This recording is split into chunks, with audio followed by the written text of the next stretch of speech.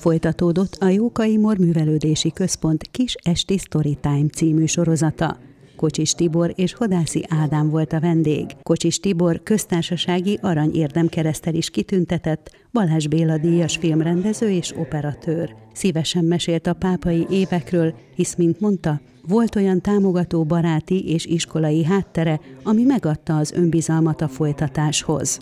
Ugye az nem volt egy teljesen magától értetődő, hogy a, a vasesztergályos és a takarítónő fia az indítja a filmét az Oscar díjra, vagy még talán a következő húsz évben meg is nyerheti. Mondjuk most viccelődjünk ezen. Nem lesz így, de miért ne humorizáljunk? Vagy, vagy hogy, hogy lesz annyi networköm, hogy a barátaim közül, aki nem kapott Kossuth díjat, én járom ki neki a Kossuth díjat, és segítek, hogy megkapja. Tehát az nem volt pont benne, hogy, hogy, hogy nagyon lentről, nem mintha most bárhol fent lennék, de hogy valahol vagyok, valamit elértem, ehhez mit kellett tenni, milyen utat kellett bejárni, milyen kapaszkodókat lehet erre, és hogy mi az, amit én javaslok esetleg, vagy ebből a kevés 61 évből, amit eddig sikerült összehozni, mi az, amit le tudok szűrni, ezt én mindig szívesen adom át, és szoktam ilyen, nem vagyok egy coach, de hogy valószínűleg azok a fogóckodók, azok, azok talán segítenek sok embernek. Ez mégiscsak egy szovjet felhúzós filmfelvevővel kezdtem el pápán forgatni. És ebből lett az, hogy most lehet, hogy a következő évben világsztárokkal forgatok. Tehát, hogy ez, ez nem magától értetődik. Főleg nem egy egy vidéki munkás családból elindulva.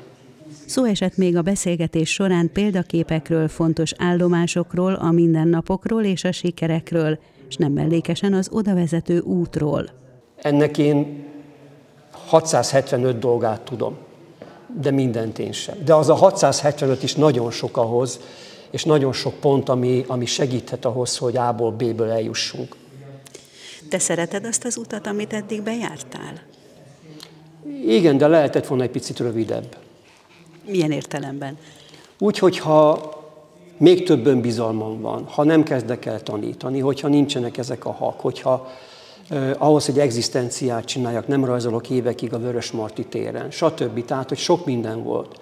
Hogyha nem színésznek jelentkezem eh, sok évig, mert nem volt bátorságom, öt évente induló rendezőszakra abban nyolc embernek. Szóval sok minden van, ezt lehet, hogy másként csinálnám, de, de ott vagyok, ahol akartam lenni.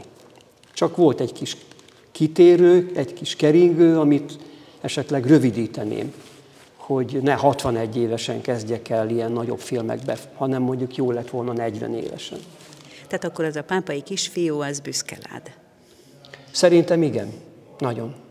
Hodászi Ádám drámapedagógus, több színházi előadás rendező asszisztense, a színjátszáshoz való kötődése, az első lépések természetesen pápához köthetők.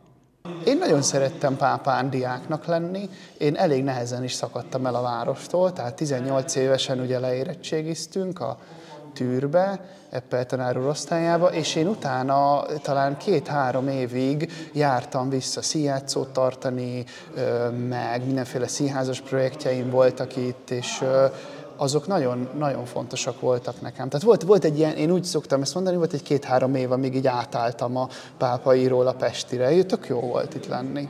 És mennyire járult ahhoz hozzá, hogy a színházzal foglalkozz? Hát, hogy maga a város? Ö... És az itteni lehetőségek?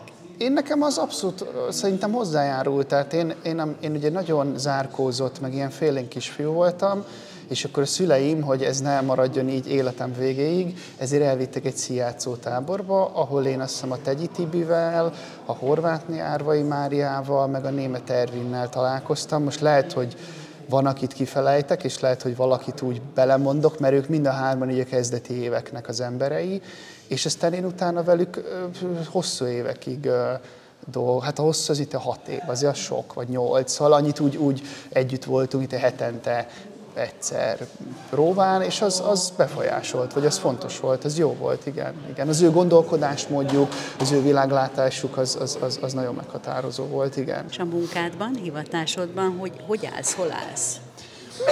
Ez egy izgi kérdés.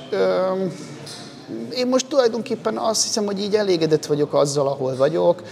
Tök sok fele dolgozom, tehát nekem van több olyan állandó partner, akivel most már évek óta dolgozunk. Én szabadúszó drámatanárként dolgozom most már ötödik éve. Ugye én bölcsészetet tanultam, utána dolgoztam 7 évet rendezőasszisztensként, és most 5 éve ez van. Diákokkal dolgozunk, főleg gimnazistákkal, nagyon őszinték, nagyon igaziak, és, és most, most sok is a feladat szerencsére. Remélem, hogy így marad. Ugye azért a Covid alatt, meg ott utána azért ott voltak bezuhanások, nem volt, nem volt mindig elegendő feladat, de most tök sok van, és ennek örülök.